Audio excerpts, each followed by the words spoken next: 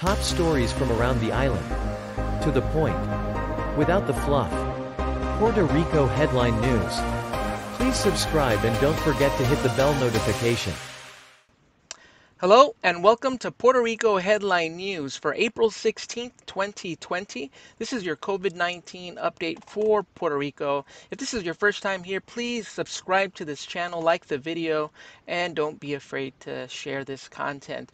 Just the numbers. Uh, my goal for this channel is to create two videos a day. That'll be my goal. Uh, the first video I'll create in the morning will be just the numbers just the latest information reports from the Department of Health. Uh, so if that's something that uh, you find interesting, uh, you can just watch that video. In the afternoon, I'll provide a separate video based on uh, breaking news in Puerto Rico. It doesn't have to involve the coronavirus. Uh, it can involve the economy, law, sports, whatever the case may be. Anything of interest, of high interest uh, to the um, YouTube subscribers of my channel. I'll definitely include that and then you'll have your choice of being able to watch uh, whichever video uh, you would like uh, to watch. So again, I thank you if you subscribe to this channel. Thanks to all my subscribers. Let me know in the comments uh, if it's a good idea to, to do that and certainly I'll be able to tell if you like this video as well. So let's go ahead and get into the uh, the latest headlines here. El Nuevo Dia is reporting for April 16th that Puerto Rico has exceeded a thousand confirmed cases uh, on the island. So let's get into this article, and it says more than a month after the first case of the of COVID-19 or the coronavirus was reported in Puerto Rico, the Department of Health confirmed this Thursday today that patients infected with the disease increased to 1,043 confirmed cases, while the number of deaths is at 56.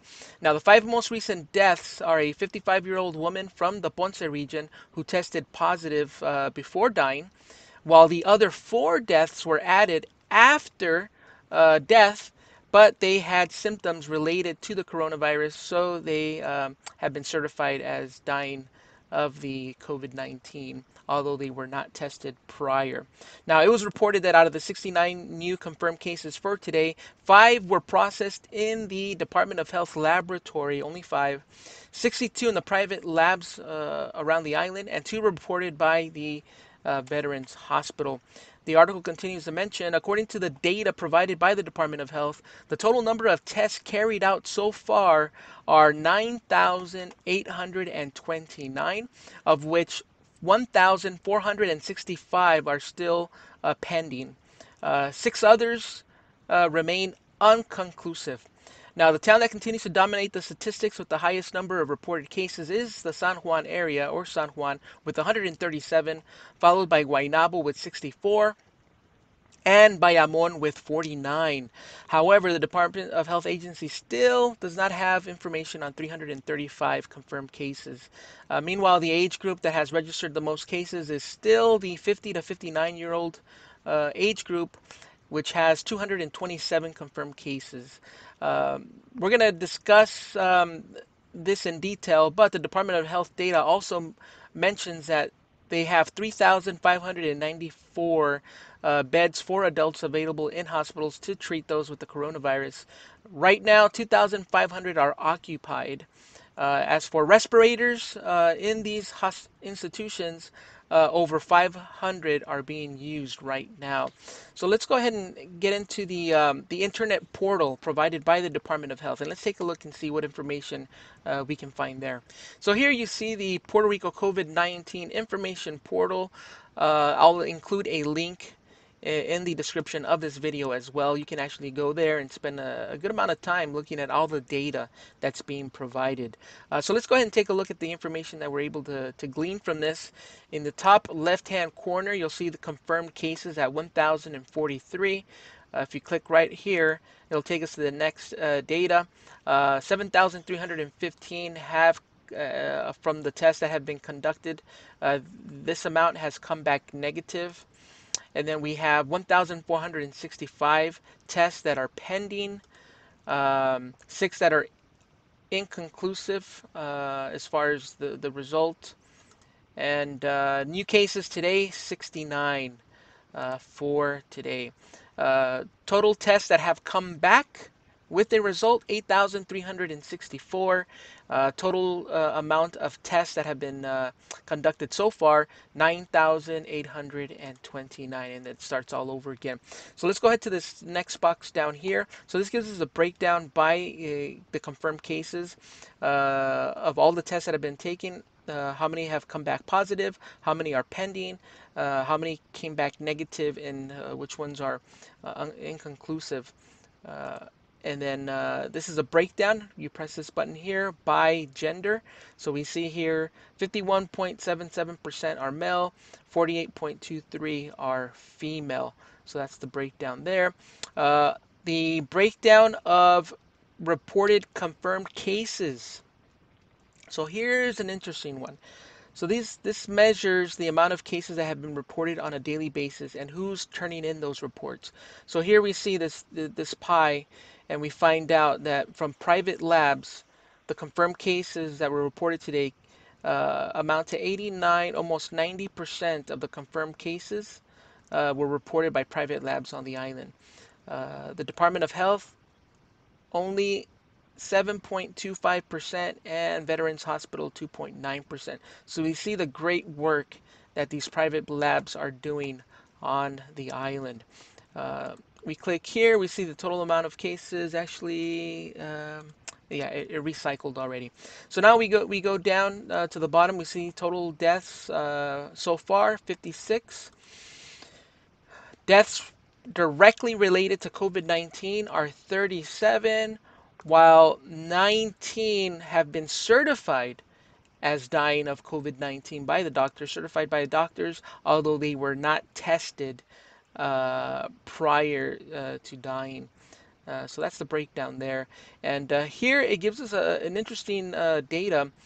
Total deaths on the island, regardless of, of the reason. This is the total deaths on the island. So in January, 2,653 died for all reasons, not broken down.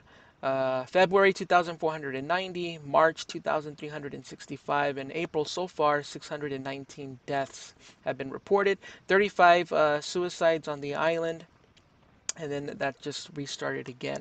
Here, this middle section here is very uh, has packed with information. So here we see the confirmed cases and where uh, the clusters are, the concentration of the confirmed cases, and we can see here the metropolitan area in San Juan, uh, Caguas, Guaynabo has the highest concentration of confirmed cases. This is by municipality. You click here and it switches over to regions. Uh, broken down uh, by regions and we can see here the San Juan region 274 and then you see the, the rest of the breakdown as well so very neat information uh, to have and become familiar with this box here breaks it down by municipality so you can just scroll down and, and, uh, and, see out west, we have Quebradillas with 17.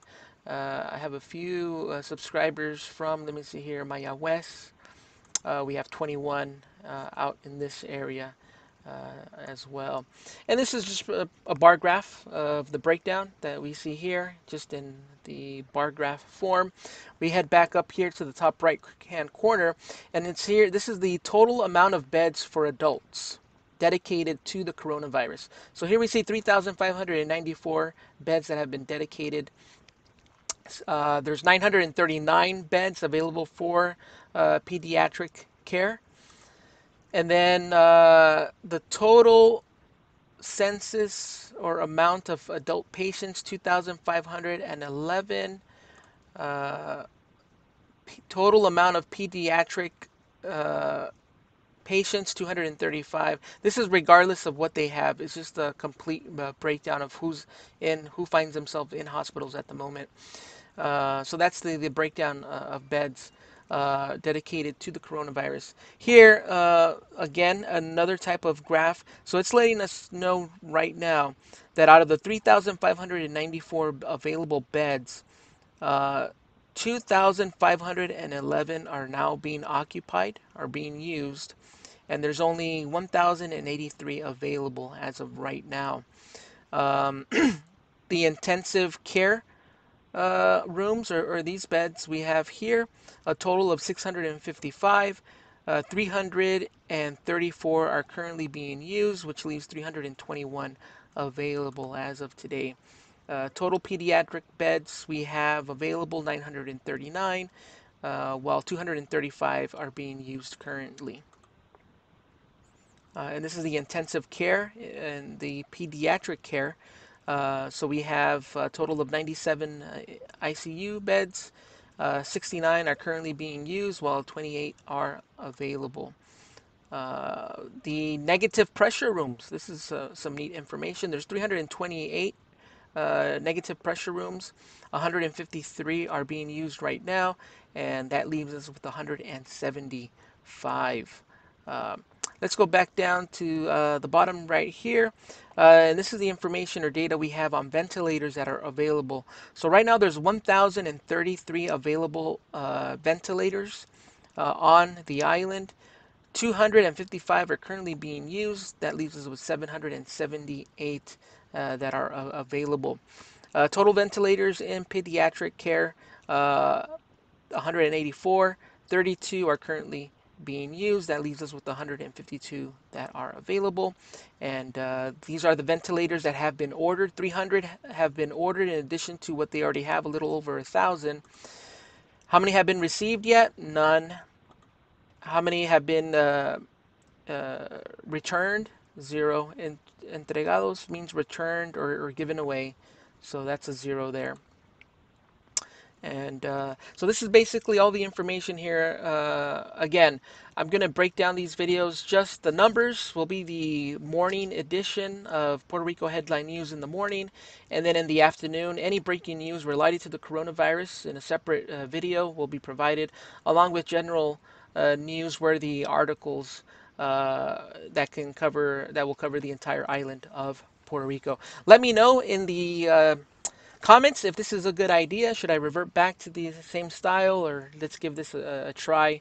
And obviously, if uh, you hit that like button, I know that uh, you'll be in agreement with this new format that I'm going to give a, a, shot to. So once again, this is uh, thanks for watching. Thanks for subscribing as well, liking these videos, and don't forget to share. Uh, thanks for watching. This is Puerto Rico Headline News.